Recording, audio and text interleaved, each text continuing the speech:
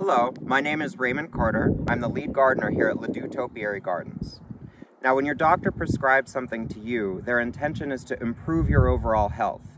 In much the same way, a prescribed burn is intended to improve the overall health of a meadow ecosystem.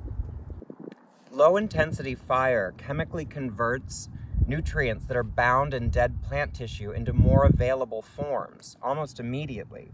This creates very fertile soil.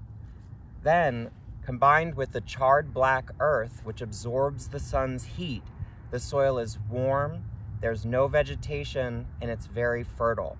This creates the perfect environment for seed germination, which means uh, more diverse species can grow here.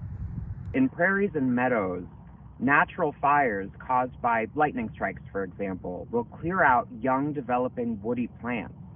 This is important because those woody plants will grow up into trees and they will outcompete the meadow plants for resources like sunlight or water, and eventually those meadows could turn into a young forest. In other words, doing a prescribed burn to mimic those fires is a way to keep our meadow a meadow. But what about the perennials?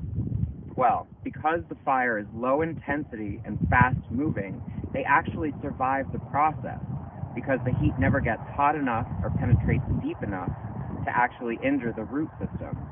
So they'll all push out fresh new foliage in the spring. They're actually going to grow a lot more vigorously, which means more resources for the other wildlife that lives in the meadow. There's a lot of planning that goes into executing a meadow burn, including proper permitting, notifying the authorities, and then waiting for the exact right moisture conditions and wind conditions to safely execute this project. Don't try this at home.